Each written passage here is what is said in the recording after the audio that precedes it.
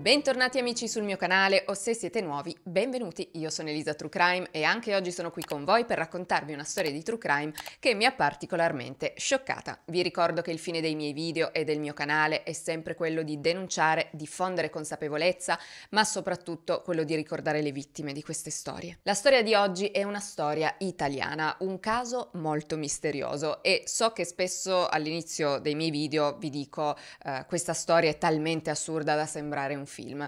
Ecco, in questo caso è proprio così, nel senso che il caso di oggi ha ispirato un film, di cui ora vi parlerò brevemente. E a questo punto un grazie al partner che sponsorizza il video di oggi, 01 Distribution. Finalmente l'alba è un film scritto e diretto da Saverio Costanzo con un cast incredibile, con attori tra cui Lily James, Rebecca Antonaci, Willem Dafoe e la star di Stranger Things Joe Keery. Il regista Saverio Costanzo ha dichiarato che le sue intenzioni in principio erano proprio quelle di scrivere un film sull'omicidio della giovane Vilma Montesi, che ha rappresentato per l'Italia il primo caso di assassinio mediatico, che ha portato ovviamente la stampa a eh, speculare sulla vicenda e la gente ad ossessionarsi. Molto presto però come spesso purtroppo succede, si è iniziato a dimenticare la vittima e si è passato a parlare praticamente solo dei suoi possibili carnefici. Saverio Costanzo racconta che quindi mentre scriveva la sua idea è cambiata e piuttosto che far morire l'innocente ne ha voluto cercare il riscatto. Nel suo film infatti la protagonista si chiama Mimosa ed è una ragazza semplice, una giovane donna nella Roma degli anni 50 che ama e sogna il cinema e che un un giorno, accompagnando la sorella ad un provino per fare la comparsa, si ritrova suo malgrado catapultata in questo mondo. Mimosa accetta l'invito mondano di un gruppo di attori americani e con loro trascorre una notte infinita da cui uscirà diversa. Finalmente l'alba esce solo al cinema in tutta Italia mercoledì 14 febbraio, quindi tra due giorni. Mi raccomando, non perdetevelo. E ora torniamo alla storia di oggi, che è proprio quella che ha ispirato il film. Oggi sarò io a raccontarvi l'assurda e strana morte della giovane Vilma Montesi. Cotta è un nome che ha avuto larga e triste notorietà in questi ultimi mesi. E così pure Torvaianica, la spiaggia dove fu rinvenuto il cadavere di Vilma Montesi. Delitto o disgrazia? Realtà o fantasia? Ci troviamo in un'Italia nei primi anni 50 e prima di parlarvi di Vilma devo necessariamente parlarvi del contesto storico in cui ci troviamo, che è molto particolare. L'Italia in questo periodo infatti è in piena fase di eh, rinascita. Sono passati solo otto anni dal giorno in cui il paese è stato liberato dall'occupazione nazifascista, quindi in questi anni si ha eh, la voglia di lasciarsi dietro le spalle tutti gli anni bui, la guerra, la distruzione, il dolore e si ha voglia di guardare avanti, di ritrovare la gioia, di ricostruire, di dedicarsi alle cose belle e al piacere. In questi anni infatti l'Italia è in pieno fermento, è l'anno dello sport, del teatro, del cinema ed è forse proprio perché il paese si trovava in un momento così sereno che tutti vengono colti alla sprovvista alla luce della storia che sto per raccontarvi. Vilma Montesi ha 21 anni al momento dello svolgimento di questa storia ed è una ragazza che tutti descrivono come una brava ragazza. Vive insieme ai suoi genitori, Maria Petti, la mamma che fa la casalinga, il padre Rodolfo che fa il falegname e ha una sua bottega, sua sorella Wanda, suo fratello Sergio e i suoi nonni paterni vivono tutti insieme in una casa nel quartiere Trieste di Roma, eh, in una casa molto modesta, in un trilocale di proprietà dell'Incis che ai tempi era eh, l'Istituto Nazionale per le Case degli Impiegati Statali. La famiglia Montesi in generale è una famiglia modesta e Vilma è una ragazza molto tranquilla, una ragazza ordinaria. La scuola non è mai stata il suo forte, ha frequentato frequentato la scuola media all'Istituto Maria Ausiliatrice, ma non ha passato la terza media. Viene poi iscritta alla scuola Michelangelo Buonarroti, una scuola eh, d'avviamento commerciale, ma anche qui non viene promossa. Si trasferisce quindi all'Istituto Privato Torricelli, anche qui una scuola d'avviamento commerciale, ma la frequenta con scarso profitto e eh, con scarso interesse. A Vilma non piace studiare e alla fine decide di abbandonare gli studi. I suoi compagni delle varie scuole comunque la descrivono praticamente tutti nello stesso modo. Tutti dicono che ehm, sia una ragazza molto timida, molto introversa, con difficoltà a socializzare e in generale con un carattere molto chiuso. Vilma è riservata e non ha interesse a frequentare i suoi compagni fuori dalla scuola o ehm, anche solo nel partecipare alle attività che eh, le facevano svolgere, eh, che facevano svolgere tutti, tutti insieme in classe. Tutti quelli che la conoscono e che la vedono in giro per il quartiere, infatti, raccontano di vederla sempre e solo insieme a sua mamma, Maria, e a sua sorella, Wanda. Lei e sua sorella erano talmente tanto sempre insieme da essersi guadagnate il soprannome di eh, sorelle siamesi. Vilma non è mai stata vista con nessun altro se non non con sua mamma e con sua sorella e pochissime volte da sola, ma mai con qualcun altro, mai con un'amica o tantomeno con un uomo. Vilma però è fidanzata, è fidanzata con un ragazzo di nome Angelo Giuliani che però vive a Potenza perché fa l'agente di polizia ed è appunto stato trasferito a Potenza, quindi la loro è una relazione a distanza. Vilma e Angelo si sono conosciuti nel settembre del 52 in una sala da ballo di Roma in cui Vilma era andata insieme ovviamente a sua mamma e a sua sorella Wanda e lì Angelo l'aveva notata e eh, le aveva chiesto di ballare insieme a lui. Vilma a questo aveva risposto di non saper ballare e gli aveva detto che avrebbe sfigurato vicino a lui. E da lì tra i due c'è stato il colpo di fulmine, a detta di Angelo, tanto che lui la sera stessa chiede il numero di telefono per poter rivedere Vilma e dopo pochi giorni le chiede già di sposarlo. Vilma, dopo aver chiesto il permesso alla madre, accetta, quindi al momento di questa storia Vilma si sta preparando per queste prossime nozze che si sarebbero svolte svolte a dicembre del 1953, quindi a dicembre di quell'anno. Come forse avrete capito, nella famiglia Montesi la mamma Maria è molto presente. La famiglia Montesi è infatti una famiglia di tipo matriarcale e Maria a prendere tutte le decisioni. È lei quella che tiene le redini della famiglia, quella dal carattere forte, quella che eh, comanda, tra virgolette. È lei infatti che ci tiene che le due figlie stiano sempre sotto il suo controllo, vuole che stiano stiano sempre in casa e che non abbiano grilli per la testa. Vilma, da tutto quello che eh, tutti raccontano, non ha mai avuto grilli per la testa. Sogna una vita tranquilla, sogna di sposarsi, di avere dei figli, ma allo stesso tempo sogna anche la fama. In quel periodo infatti Roma sta diventando la capitale del cinema, tanto che viene definita la Hollywood sul Tevere. Nel dopoguerra Roma diventa la Hollywood sul Tevere. Qui sono ormai di casa Audrey Hepburn e Gregory Peck. Put the flame on me, boy.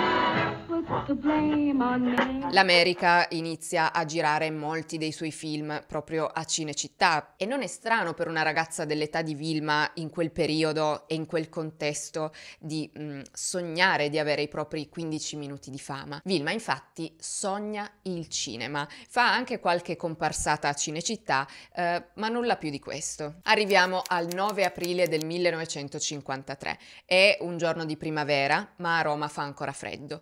Quella mattina Wanda, la sorella di Vilma, passa dalla bottega di Rodolfo per recuperare dei sandali di Vilma perché Dovete sapere che in quel periodo Vilma ha un problema al tallone, ricordatevelo perché non sembra ma è estremamente importante. Vilma, a causa di un paio di scarpe nuove, ha un'irritazione al tallone che non le passa. Il dottore le ha detto di metterci su la tintura di iodio, quella roba rossa, ma eh, Vilma continua ad avere quel fastidio e quindi aveva chiesto a Wanda di eh, prenderle questi sandali per stare un po' più comoda. Quando Wanda torna a casa, Vilma prepara il pranzo e verso le 14 la famiglia Montesi si siede a tavola per mangiare tutti insieme. Nel pomeriggio poi Maria e Wanda decidono di andare al cinema a vedere il film La carrozza d'oro di Jean Renoir con Anna Magnani, ma Vilma decide di non andare con loro e questo perché dice che a lei Anna Magnani non piace. Dico non siete geloso voi. Dice loro che preferisce fare una passeggiata e poi casomai raggiungerle dopo. Così Maria e Wanda escono verso le 16.30 e lasciano Vilma a casa che si stava truccando.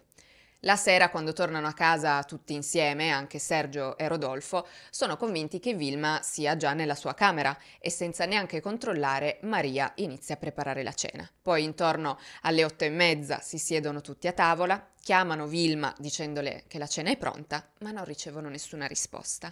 La chiamano di nuovo, ma nulla. Vilma non esce dalla sua stanza e quando vanno a controllare si rendono conto che Vilma non è nella sua stanza, Vilma non è in casa, non è mai rientrata. A quel punto la famiglia si allarma all'istante perché non era mai successo che la ragazza rimanesse fuori fino a quell'ora, oltretutto da sola. Deve esserle successo qualcosa. Escono quindi immediatamente a cercarla e uno dei primi posti in cui vanno è il policlinico perché pensano ad un incidente, ma di Vilma non c'è nessuna traccia, di conseguenza verso le 22.30 vanno al commissariato per eh, denunciare la sua scomparsa e dopo continuano a cercarla per le strade di Roma senza sosta, la cercano per tutta la notte, però Vilma sembra scomparsa nel nulla. La mattina dopo, il 10 aprile, Rodolfo si reca in questura e qui ha un colloquio con eh, un commissario il cui atteggiamento è eh, a dir poco discutibile, perché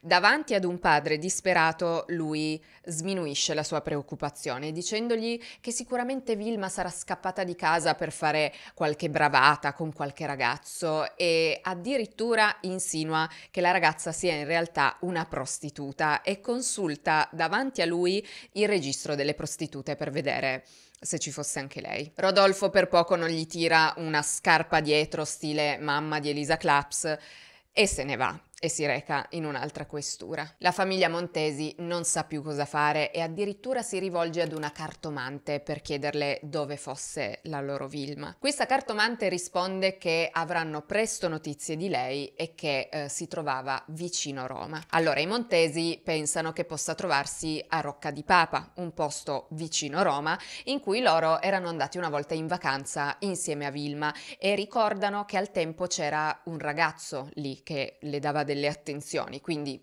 si dicono, boh, magari è davvero scappata di casa ma anche a Rocca di Papa di Vilma non c'è nemmeno l'ombra. Quel giorno arriva da Potenza anche il fidanzato di Vilma, Angelo, a cui i genitori della ragazza avevano mandato un telegramma scrivendo eh, appunto che Vilma era scomparsa e dopo scrivendogli che forse addirittura la ragazza si era tolta la vita. Su questo punto ho trovato un po' di confusione tra le notizie perché alcune fonti eh, riportano che sia stata la famiglia stessa a ipotizzare il suicidio, cioè che il padre di Vilma, nello specifico, abbia detto che forse sua figlia si era tolta la vita e questo perché, secondo lui, non era felice, non era felice dell'imminente matrimonio con Angelo e non voleva trasferirsi a Potenza. Ma in un libro che ho letto eh, su questa storia, scritto da una giornalista che riporta tutte le interviste, stralci delle carte processuali, insomma, mi è sembrato molto affidabile, non c'è scritto questo questo c'è scritto che eh, questa cosa del suicidio viene fuori perché praticamente quando i Montesi mandano il telegramma ad Angelo chiedendogli di uh, andare da loro perché Vilma è scomparsa, lui uh, chiede ovviamente il permesso in caserma per andare, ma questo permesso gli viene negato e gli viene detto che gli sarebbe stato concesso solo nel caso in cui la scomparsa della sua fidanzata fosse legata a qualcosa di grave, quindi solo nel caso in cui uh, si pensasse che la ragazza fosse o stata uccisa o che si fosse tolta la vita. E allora per questo Maria eh, manda un altro telegramma ad Angelo scrivendo che si pensava che Vilma si fosse tolta la vita e a quel punto infatti il permesso ad Angelo è stato concesso e lui è potuto andare a Roma, quindi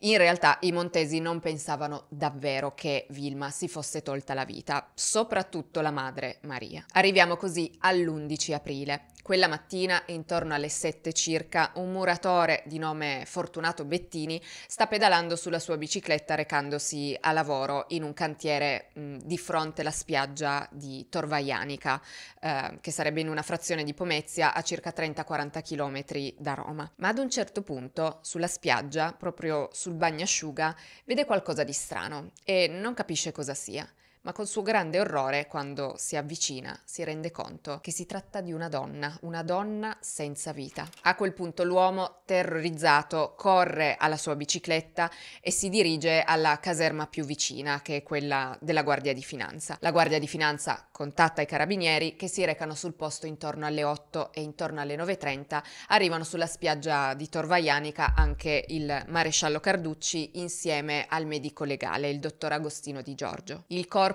si trova in posizione prona, quindi a pancia in giù, parallela alla riva, con la faccia in giù proprio nella sabbia, un braccio all'altezza della testa e uno lungo il fianco. Indossa un reggiseno rosa, una maglia bianca, un pullover giallo e una giacca a quadretti verdi e sotto ha una sottoveste celeste e anche delle mutande bianche ma non indossa né una gonna, né le calze, né le scarpe. Quindi possiamo dire che a parte le mutande, la ragazza è nuda dalla vita in giù però non presenta nessun segno di violenza. Il mare è un po' mosso quel giorno, quindi le autorità sono costrette a spostare il corpo della giovane per evitare che le onde eh, lo trascinino in acqua. E dopo un'analisi il dottor Di Giorgio stabilisce che la causa della morte sia annegamento e che la morte potrebbe risalire a 18-24 ore prima, non di più perché il corpo non è ancora completamente rigido, quindi non è ancora andato completamente in rigor mortis quindi la giovane potrebbe essere morta la mattina del 10 aprile, quindi la mattina eh, del giorno prima. Il giorno dopo, quindi il 12 aprile, Rodolfo, leggendo il giornale, vede la notizia di questo ritrovamento, del ritrovamento di questo corpo sulla spiaggia di Torvaianica e pensa subito che possa essere sua figlia.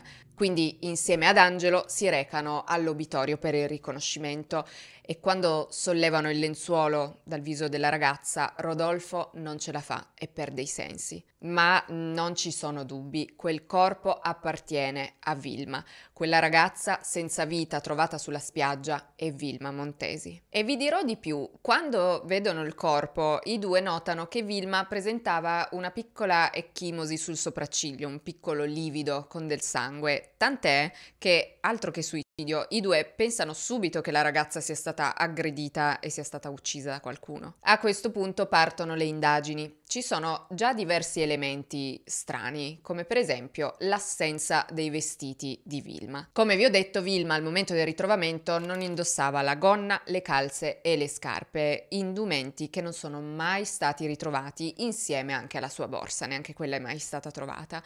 La cosa strana però è che non indossava neanche il reggicalze. A quel tempo tutte le donne indossavano il reggicalze, che sarebbe, vabbè, una sorta di fascia intorno alla vita con dei gancetti che scendono e a cui si appendono le calze, i collant.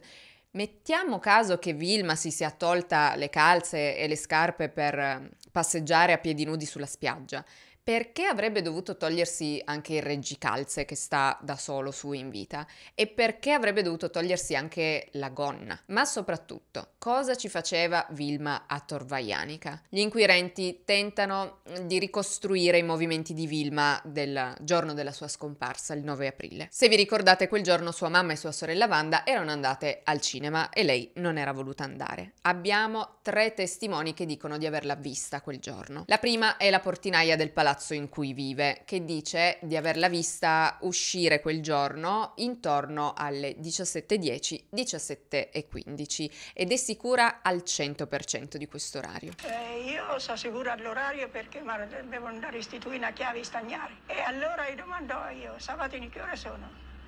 E sono le 5.10 mi disse.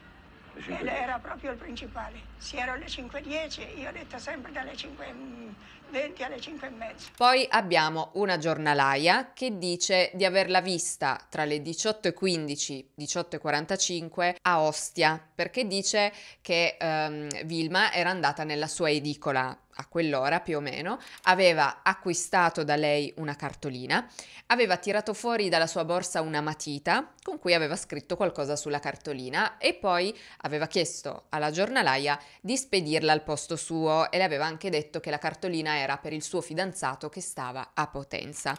Aveva poi pagato con dei soldi tirati fuori dal portafoglio nella sua borsa e poi era andata via. Infine abbiamo un'altra donna, una bambinaia, che dice di averla vista anche lei verso le 18, 18 e 15 sulla spiaggia sempre di Ostia, passeggiare da sola. Ma se queste persone l'hanno vista ad Ostia, perché il suo corpo è stato ritrovato a Torvaianica che dista da Ostia circa 4 ore e mezzo a piedi. Quello stesso giorno, tra l'altro, c'è un commissario della squadra mobile a Casa Montesi che li sta interrogando e per la prima volta la sorella di Vilma, Wanda, tira fuori un nuovo elemento. Le viene in mente che il giorno della scomparsa Vilma le aveva chiesto di andare insieme a lei ad Ostia e eh, voleva andare ad Ostia per fare una passeggiata sulla spiaggia e questo perché voleva bagnare i piedi nell'acqua di mare. Vi ricordate che prima vi ho detto che Vilma aveva un'irritazione al tallone causata dalle scarpe che le facevano male? Ecco, Wanda sostiene che Vilma voleva fare un pediluvio con l'acqua di mare perché sperava che così l'irritazione le sarebbe passata.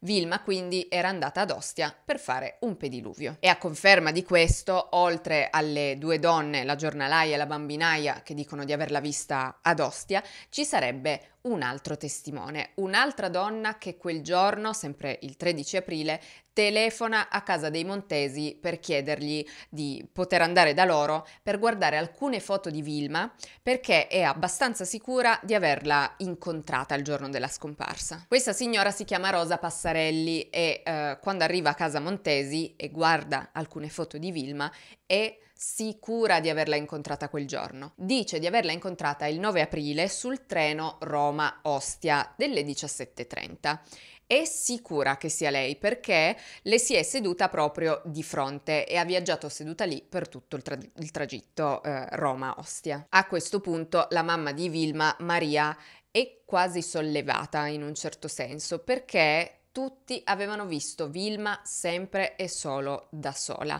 non in compagnia di qualche uomo come aveva insinuato qualcuno all'inizio. In quel caso sarebbe stato un disonore per la famiglia.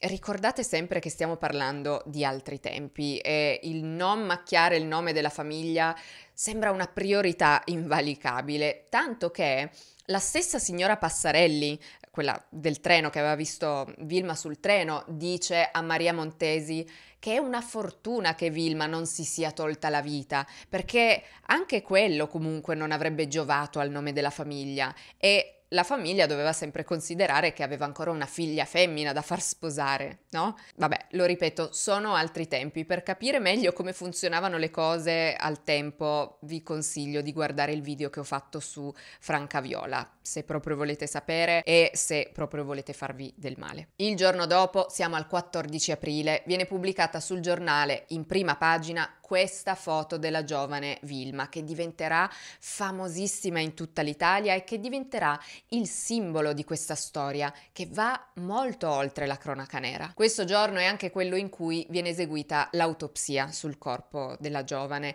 da cui emergono le seguenti cose. Vengono rilevate alcune piccole ecchimosi, eh, anche alcune escoriazioni, sia sul viso che su diverse parti del corpo, che però si attribuiscono al fatto di essere stata stata trascinata ehm, comunque un po' sbattuta sul bagnosciuga eh, dalle onde. Nei polmoni viene ritrovata della sabbia, che secondo gli esperti apparterrebbe alla spiaggia di Ostia, e emerge anche che Vilma era vergine, quindi il suo imene è intatto, il che conferma l'assenza di violenza sessuale. Vengono fatti anche gli esami tossicologici per i veleni volatili, come il cianuro e l'etere, per i veleni metallici, come il bario e l'arsenico, e per i veleni organici, tra cui il cloroformio, stricnina, morfina e cocaina. Tutti questi test risultano negativi. Il 16 aprile, in una conferenza stampa, Saverio Polito, che sarebbe il questore di Roma di allora, comunica a tutti cosa sia successo a Vilma Montesi. Vilma Montesi si è recata al Lido di Ostia per fare un pediluvio a scopo curativo per il suo arrossamento al tallone e dopo essersi tolta gli indumenti che non sono più stati ritrovati, si è bagnata i piedi nell'acqua e poi improvvisamente deve aver avuto un malore forse perché l'acqua era troppo fredda. È caduta quindi in acqua ed è annegata. Poi, a causa delle forti correnti, il corpo era stato trascinato da Ostia a Tor Vaianica, dove era poi stata ritrovata.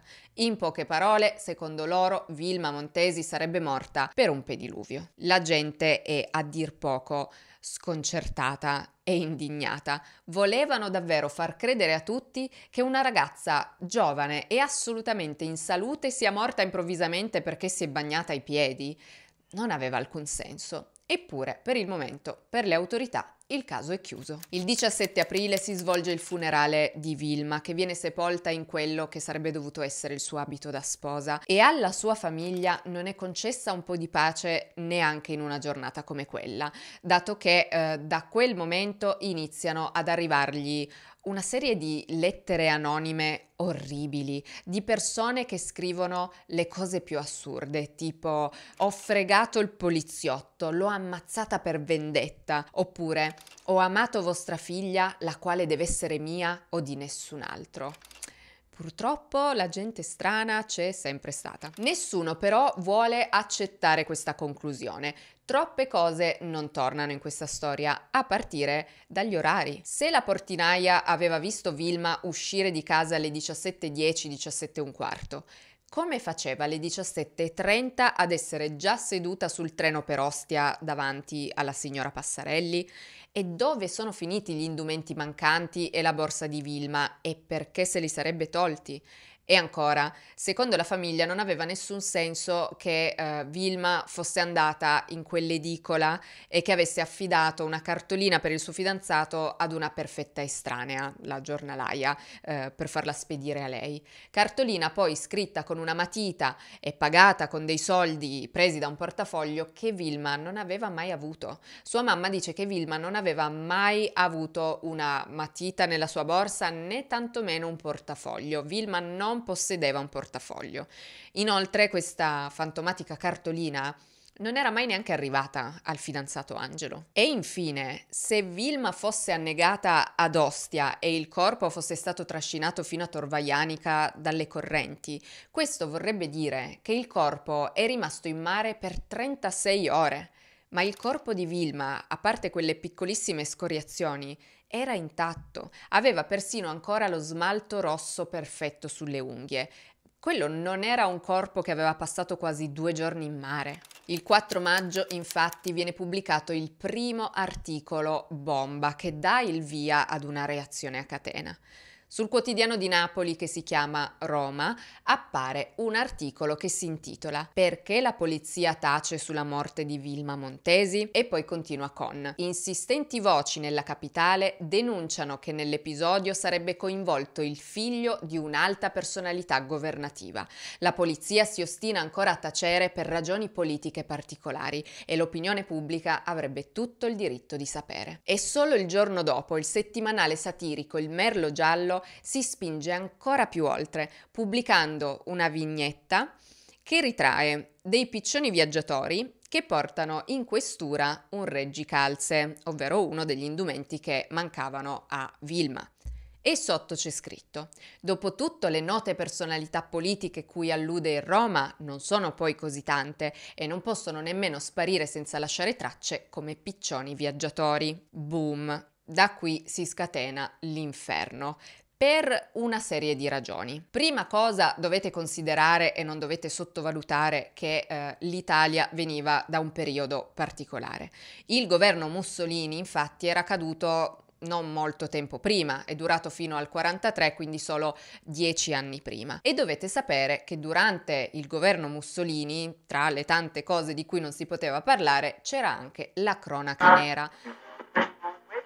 La cronaca nera era bandita da tutti i quotidiani perché l'Italia agli occhi del mondo doveva essere perfetta, doveva avere un'immagine impeccabile, la gente doveva pensare che in Italia si trova sempre parcheggio, i treni arrivano sempre in orario e la gente non muore mai. Ora però sapete che i treni non è che arrivavano sempre in orario, è solo che quando arrivavano in ritardo era vietato farlo sapere. Questo comunque è il primo caso in cui non solo i giornali possono parlare liberamente, ma in cui addirittura l'opinione pubblica è stata coinvolta. La gente poteva finalmente dare libero sfogo a tutta quella curiosità morbosa che diventa morbosa proprio perché quella cosa ti è stata vietata fino a quel momento.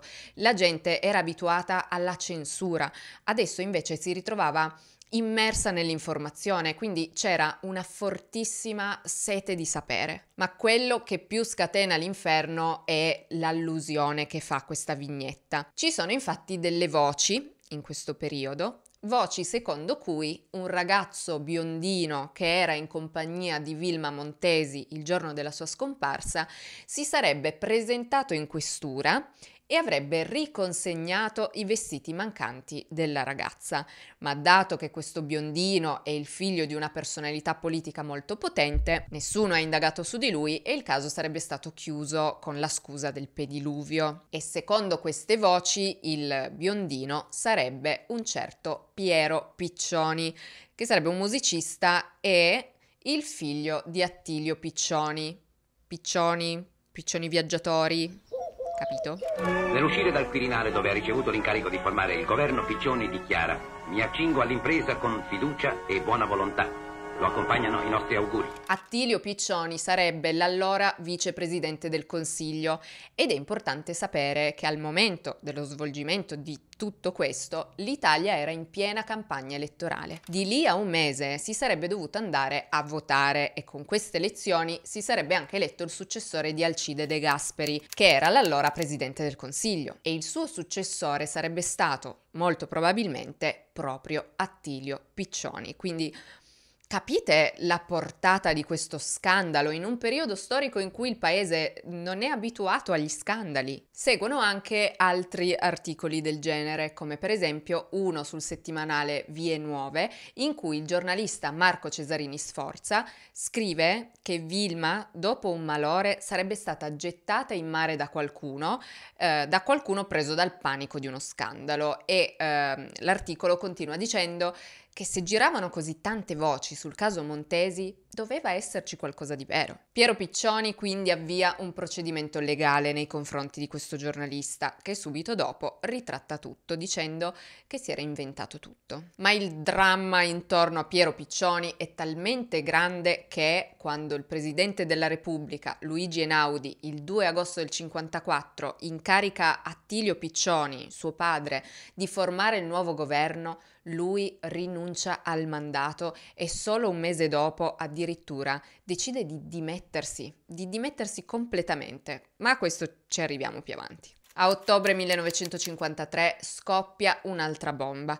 Il giornalista Silvano Muto pubblica sulla sua rivista Attualità un articolo che incasina tutto ancora più di quanto già non fosse e che, come vedrete, farà dimenticare di Vilma, o meglio, non si parlerà più di Vilma in quanto persona, in quanto vittima. La sua vita, ma soprattutto la sua morte, diventerà solo un mezzo, si strumentalizzerà la sua morte tantissimo e per le ragioni più disparate. L'articolo si intitola il mistero della morte di Vilma Montesi, perché non fu chiarito il mistero della ragazza annegata a Ostia il cui corpo fu rinvenuto a Torvaianica. Nell'articolo Silvano Muto fa una ricostruzione minuziosa di eh, tutta la vicenda, con luoghi, orari, tutte cose che si sapevano già, ma da un certo punto in poi la sua storia prende una piega inaspettata. Muto scrive che Vilma aveva un amico, che lui soprannomina nell'articolo Mr. X, un uomo pronto ad esaudire ogni suo desiderio, ma che in cambio pretendeva il controllo fisico e psicologico sulla giovane. Mr. X, secondo l'articolo, userebbe ragazze come Vilma per consegnare dei pacchetti di felicità che probabilmente le ragazze non sanno neanche che cosa contengano. Quindi eh, Muto accusa questo fantomatico Mr. X di usare ragazze, tra cui Vilma, come mule. Scrive anche che qualcuno ha visto Vilma e Mr. X entrare diverse volte nella tenuta di Capocotta, che sarebbe quella che allora era la tenuta di proprietà dei Savoia, che eh, dopo la monarchia era diventata di proprietà degli eredi di Vittorio Emanuele III. E secondo questo articolo, la tenuta di Capocotta sarebbe un luogo di perdizione, dove si tengono festini e orge, mm, insomma festini a base di orge, sesso, droga rock and roll a cui partecipano persone potenti, gente famosa, importanti politici, gli antenati del bunga bunga, insomma. Secondo Muto, quindi, il 9 aprile Vilma ha avuto appuntamento con Mr. X a Ostia, poi insieme sono andati a Capocotta, insieme anche ad altre persone. Lì hanno fatto un, un, uno di questi festini, hanno fatto uso di sostanze Vilma si è sentita male, è svenuta e tutti hanno pensato che fosse morta. A questo punto entra in scena un secondo uomo che nell'articolo è soprannominato Mr. Y, che insieme a Mr. X riveste alla veloce Vilma, dimenticandosi di metterle la gonna, le scarpe, le calze e il reggicalze e scaricando il corpo in riva al mare, così che sembrasse una disgrazia. Vilma però, secondo l'articolo, non sarebbe morta, ma solo svenuta e sarebbe così annegata lentamente lì dove è stata poi ritrovata. Quindi Silvano Muto lancia questa bomba incredibile accusando un po' tutti, accusando Vilma di avere una doppia vita, accusando le, le autorità di essere corrotte e infatti subito dopo il procuratore capo di Roma lo denuncia per aver pubblicato notizie false e tendenziose tali da poter turbare l'ordine pubblico. Quell'articolo nacque come nascono tutti gli articoli di giornale. Le voci innanzitutto la raccolta di voci che circolavano nell'ambiente politico, giornalistico romano. Altre voci e altri elementi giornalistici vennero presi dalla vicenda in se stessa. A quel punto Muto però ritratta tutto, anzi si rimangia tutto, dichiara addirittura di essersi inventato tutto di sana pianta e di non sapere nulla della morte di Vilma e di aver scritto quell'articolo solo per incrementare le vendite del suo giornale che erano un disastro. Ma anche questa cosa non convince. Da un giornalista che per di più è laureato in giurisprudenza, non sembra un comportamento molto normale. Fatto sta che qualche mese dopo, a dicembre, viene emanato il decreto del Presidente della Repubblica 922 in merito alla concessione di amnistia e di indulto, che prevede l'amnistia, quindi l'annullamento del reato di diffamazione a mezzo della stampa, ma solo per i reati commessi fino al 21 settembre del 53. Peccato che il reato di Silvano Muto è stato commesso il 16 ottobre, quindi per meno di un mese mese non rientra in questo decreto ed è costretto ad andare al processo. Il processo inizia il 28 gennaio del 54 e Silvano Muto cambia di nuovo idea. Da che aveva detto di essersi inventato tutto e di aver scritto quell'articolo solo per vendere di più, adesso ritratta e dice che in realtà è tutto vero Dice di non essersi inventato niente, di aver fatto un'indagine e eh, di aver detto il contrario solo perché spinto dal sostituto procuratore che lo aveva interrogato ad ottobre. Questo processo appassiona tutta l'Italia. La gente, come vi ho detto prima, è ossessionata da questa storia. Fuori dal Palazzo di Giustizia di Piazza Cavour ci sono ogni giorno migliaia di persone che stanno lì tutti accalcati perché vogliono assistere alle udienze emergenze. Pensate che addirittura hanno dovuto chiudere tre ponti sul Tevere per la troppa folla che c'era. Nel corso del processo vengono sentiti due testimoni, due donne che avrebbero contribuito alle informazioni che Muto aveva scritto nel suo articolo. La prima testimone è una donna di nome Adriana Concetta Bisaccia, che si era trasferita a Roma da un piccolo paesino con il sogno di diventare un'attrice. Aveva conosciuto Muto il 23 luglio del 53 e lui l'aveva praticamente adescata perché eh, un suo informatore gli aveva detto che Adriana era una persona informata sui fatti riguardo al caso Montesi e lui stava già indagando. Bisogna sapere però che Adriana è una ragazza molto fragile. Sappiamo che da piccola ha sofferto di manie di persecuzione e in generale pare sia una ragazza un po' instabile e facilmente manipolabile. A quanto pare questo, a detta di Adriana, è proprio quello che Silvano fa con lei. La manipola, mentendole e inducendola a parlargli di uh, Vilma Montesi, di come è morta. Adriana al processo racconta che Muto ha esercitato su di lei una pressante e suggestionante insistenza dicendole che doveva dirgli a tutti i costi come erano avvenuti i fatti, anche perché eh, lui le diceva che eh, se lei avesse parlato avrebbe salvato tante ragazze che potevano finire come Vilma Montesi, quindi lei si sentiva questa responsabilità addosso. Addirittura Adriana racconta che da un certo punto in poi Muto cerca di convincerla di essere l'amante di Piero Piccioni e Adriana racconta di essere andata talmente tanto in confusione da aver iniziato a confondere la finzione con la realtà, tanto da non essere neanche più sicura di conoscerlo questo Piero Piccioni. Racconta infatti di aver fissato un appuntamento con lui alla RAI per chiedergli per chiedere a lui direttamente se si conoscevano oppure no, cioè questo per farvi capire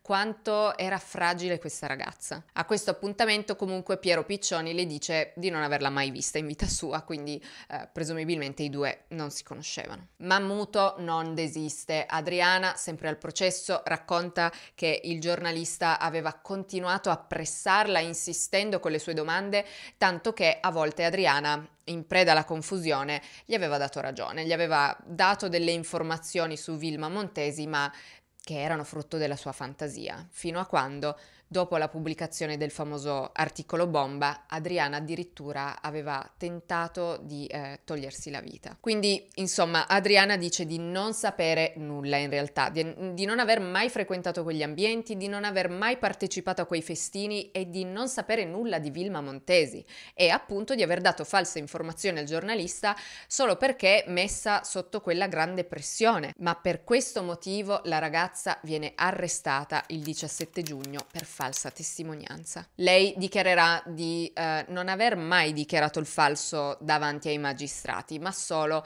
in privato, quindi a muto, a degli amici in giro, ma durante le, dipo- le deposizioni e sotto giuramento dice di aver sempre detto il vero. Comunque, andando avanti col processo a Silvano Muto, la seconda testimone è un'altra donna di nome Anna Maria Moneta Caglio. Statemi dietro perché lo so che eh, ci sono tantissimi nomi e tantissimi avvenimenti in questo, in questo, caso. Anna Maria praticamente aveva letto l'articolo bomba di Silvano Muto e subito dopo lo aveva contattato dicendogli di essere sicura di eh, conoscere molto bene quello che lui nell'articolo chiamava Mr. X e sapeva per certo che fosse coinvolto nella morte di Vilma Montesi. Anna Maria è figlia di una famiglia estremamente ricca, una famiglia in cui ci sono intellettuali, nobili, non notai, massoni, i titolari della zecca di Milano e niente meno che l'unico italiano ad aver mai vinto il premio Nobel per la pace. Ad Anna Maria però la sua famiglia sta un po' stretta, lei si sente un po' ribelle per così dire,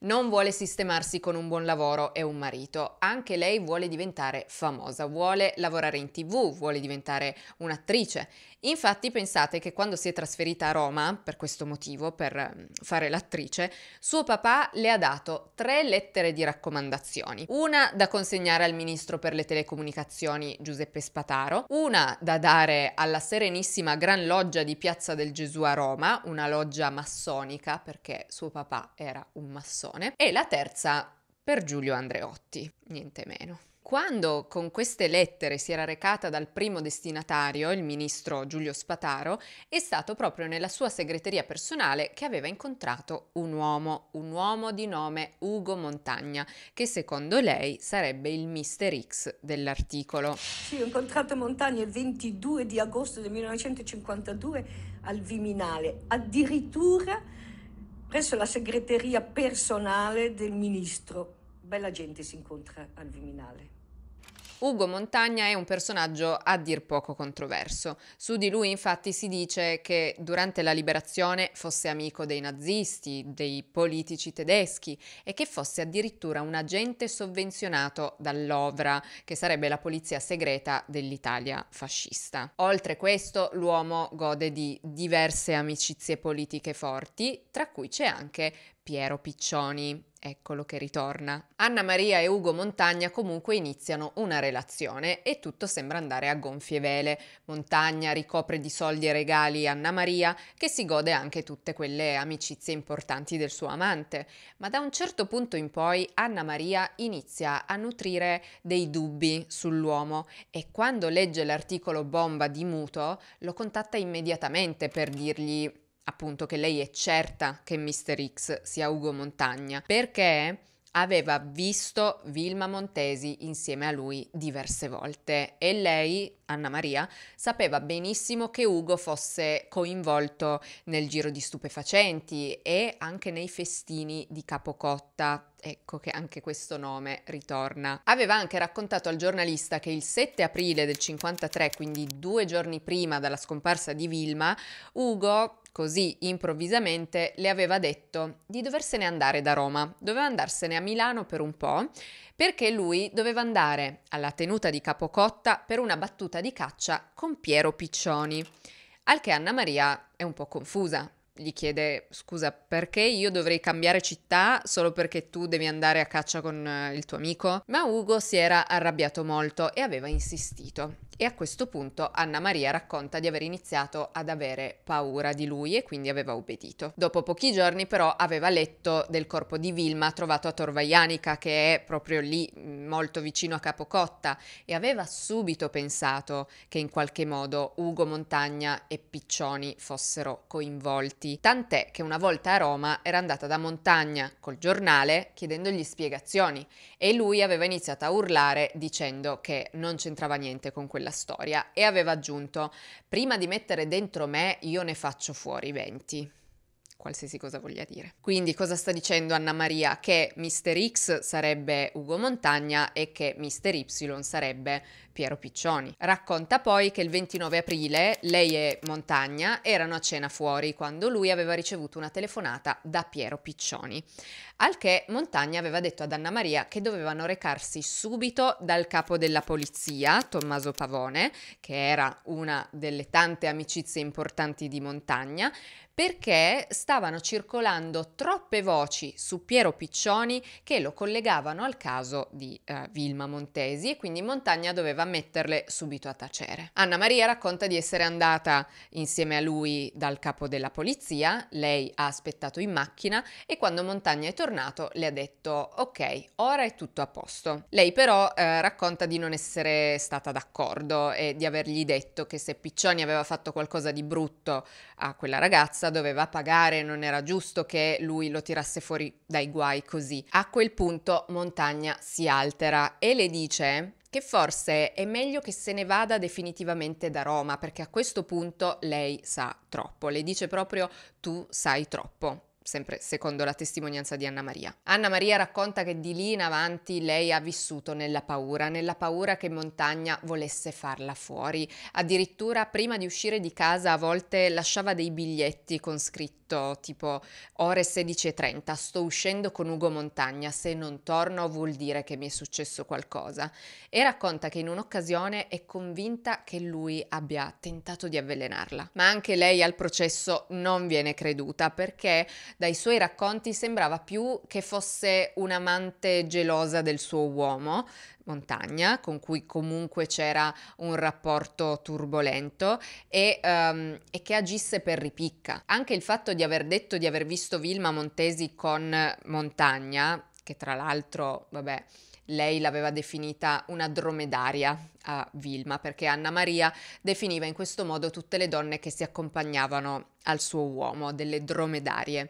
Ecco, anche questa cosa che lei ha detto si scopre poi non essere vera. Quella che lei aveva descritto in compagnia di Montagna non era Vilma Montesi, ma un'altra donna. Di conseguenza anche lei viene querelata e accusata di calunnie e falsa testimonianza. A marzo del 54 il processo a Silvano Muto viene improvvisamente annullato per far spazio ad una nuova istruttoria, un'istruttoria formale sulla morte di Vilma Montesi affidata al giudice Raffaele Sepe. Vengono svolte quindi nuove indagini e si parte proprio dalla questione degli orari che come vi dicevo non combaciano. Se Vilma è uscita di casa alle 17.10, 17.15 non poteva trovarsi sul treno alle 17.30. Infatti quando questi testimoni vengono risentiti, quindi la signora Passarella, quella del treno, la giornalaia, la bambinaia, tutte mh, mm, ritrattano un po' la loro eh, versione, non sono più sicure dei loro ricordi, forse eh, dicono di essersi fatte prendere dalla foga del momento e eh, pensavano di aver visto Vilma, ma forse non era lei. Il corpo di Vilma viene riesumato e rianalizzato e si cambia idea persino sulla sabbia ritrovata nei polmoni, che viene rianalizzata e vi ricordate che gli esperti sostenevano si trattasse della sabbia di Ostia? Ebbene, eh, stavolta viene fuori che si trattava invece della sabbia di Torvaianica, riconoscibile per la quantità di ferro nei granelli, era più ferrosa. In più, il fatto che i polmoni contenessero molta sabbia ma non molta acqua indica che Vilma non sia morta annegata in mare, ma proprio lì sul bagnasciuga con il viso nella sabbia come l'avevano trovata. E infine fanno una scoperta molto interessante. Scoprono da questa nuova autopsia che Vilma Montesi soffriva di ipoplasia del sistema cardiocircolatorio, ovvero aveva una orta di una misura inferiore al normale e il suo cuore era più piccolo di quello eh, che avrebbe dovuto essere considerando la sua conformità fisica. Questo avrebbe effettivamente potuto causare un malore in Vilma, ma rimaneva un punto interrogativo, ovvero come ci è arrivata a Tor Vaianica da Ostia. Doveva per forza essere con qualcuno lì, qualcuno che quando lei ha avuto il malore si è spaventato e l'ha abbandonata. A seguito di questa istruttoria avvengono due nuovi colpi di scena incredibili. Il primo è che il capo della polizia Tommaso Pavone, che vi ho accennato prima perché amico di Montagna, si dimette improvvisamente e il secondo colpo di scena è che nel settembre 1954 Piero Piccioni viene arrestato per l'omicidio di Vilma Montesi e solo il giorno dopo si costituisce anche il suo amico Ugo Montagna. Ed è proprio a questo punto che il padre di Piero, Attilio Piccioni, si dimette a causa dello scandalo troppo grande intorno a suo figlio e la sua avvenente carriera politica termina per sempre. Questo nuovo processo fa ancora più scalpore dell'altro. A questo punto si parla proprio di affare Montesi e tutti cercano in qualche modo di strumentalizzare la cosa a proprio piacimento, soprattutto la politica, approfittando anche dell'ossessione che la gente aveva nei nei confronti del caso. Dovete anche pensare che in questo periodo storico l'opinione pubblica, le persone, non sapevano nulla di questi retroscena, di queste situazioni un po' ombrose che coinvolgevano i potenti, di questi festini a base di trasgressioni, affari illeciti. Per la gente questo è stato uno squarcio in quella dolce vita a cui si stavano abituando e volevano sapere, volevano saperne sempre di più. Questo processo sarà lunghissimo, durerà ben tre anni e per forza di cose devo riassumervelo il più possibile. Di base sia Piccioni sia Montagna si dicono innocenti e giurano di non aver mai visto Vilma Montesi in vita loro. Addirittura Piccioni ha un alibi. In quel periodo si trovava a Capri con la fidanzata, che era una famosissima attrice di nome Alida Valli, che testimonia anche in suo favore.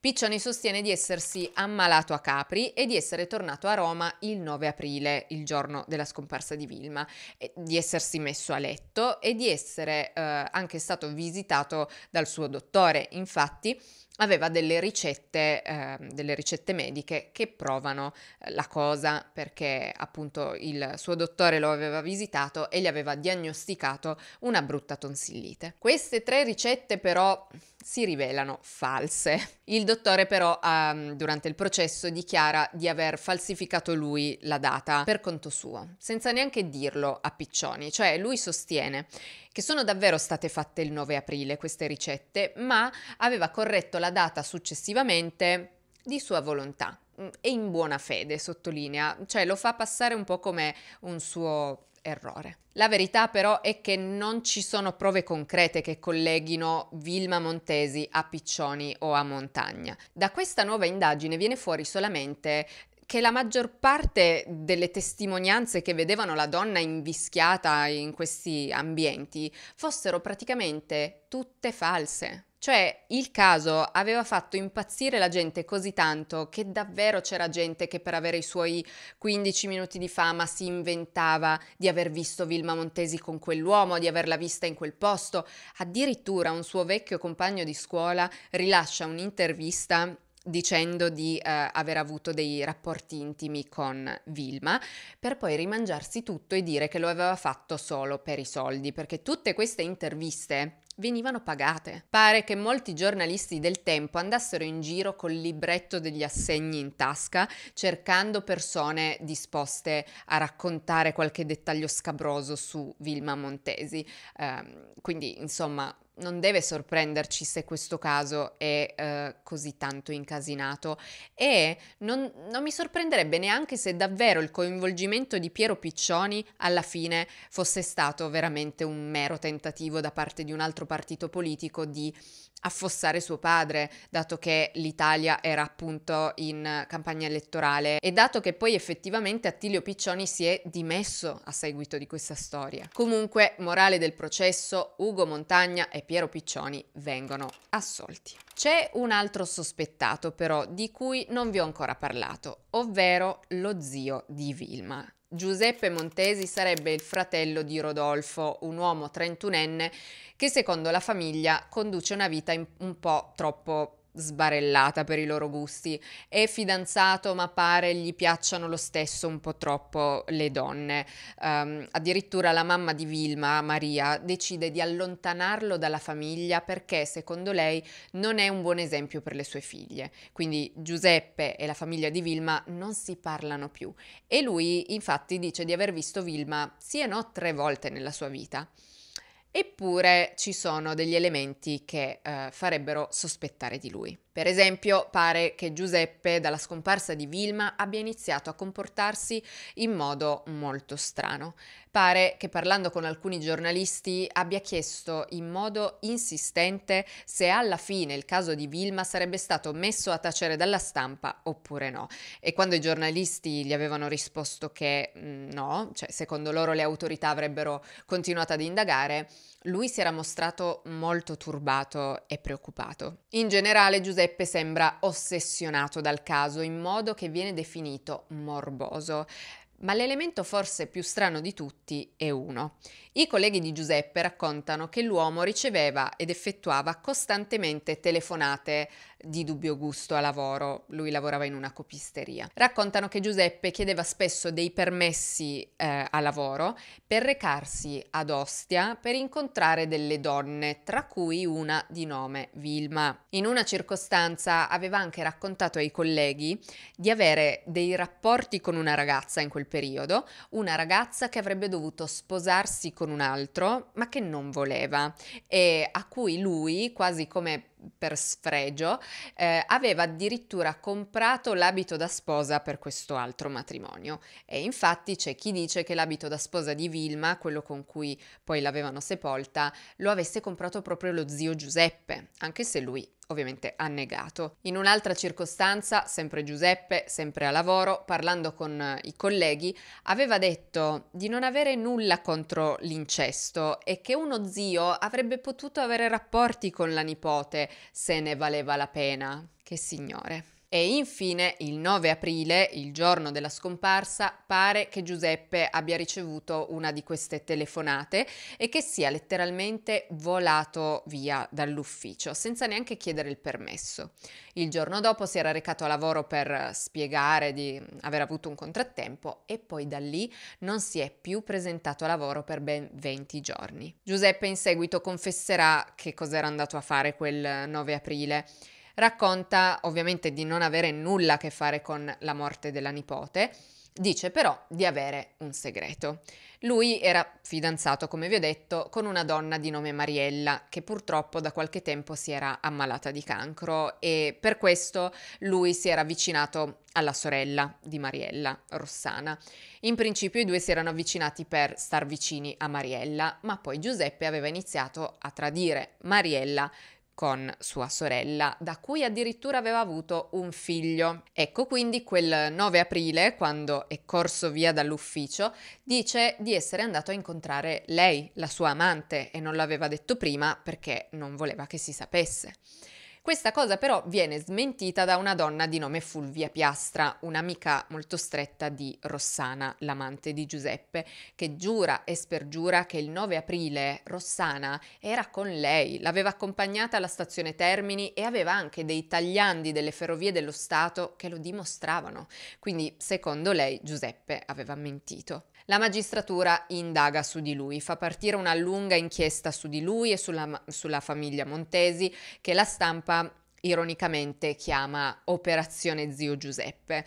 Ma alla fine di queste indagini non viene fuori nulla, nulla di concreto e quindi questa pista viene abbandonata. Sono passati più di 70 anni dalla morte di Vilma Montesi e non si è mai venuto a capo di cosa le sia veramente successo. Conduceva davvero una doppia vita fatta di festini, droghe uomini potenti oppure ha davvero ehm, semplicemente avuto un malore causato da quell'ipoplasia che ehm, non sapeva neanche di avere? Era davvero in compagnia di quello zio un po' controverso che magari vedendola star male, non potendosi permettere di essere scoperto, l'ha abbandonata sul bagnasciuga? Oppure, come si è detto dall'inizio, la ragazza era semplicemente da sola quando si è sentita male, quando tutto questo è successo?